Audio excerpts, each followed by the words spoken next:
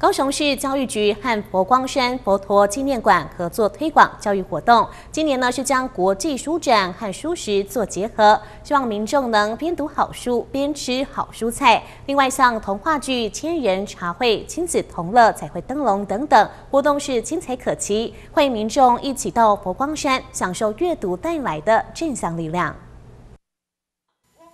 高雄市教育局和佛光山佛陀纪念馆多年来合作推广教育活动，今年将国际书展和书食一块结合，希望民众能边读好书边吃好蔬菜。活动记者会上播放佛陀纪念馆的行销短片，预告今年书展主题像是童话剧、茶会、亲子彩绘灯笼等活动，精彩可期。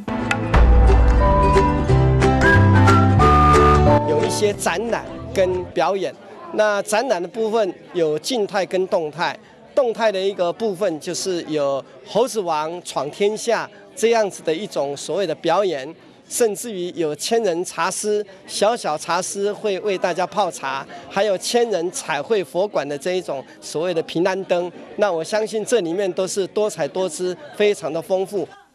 除了行销短片外，现场还有小朋友带来可爱的舞蹈表演、精彩生动的行动剧以及上菜秀等等，借此鼓励民众多多阅读，将国际书展多吃书食的理念呈现出来。看六年的这个书书展，就是要鼓励大家来看书，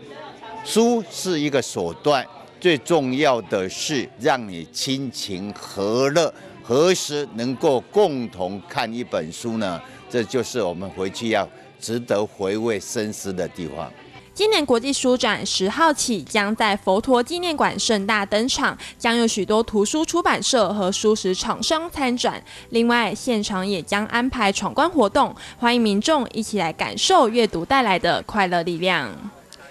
港都新闻张世明、夏雅欣采访报道。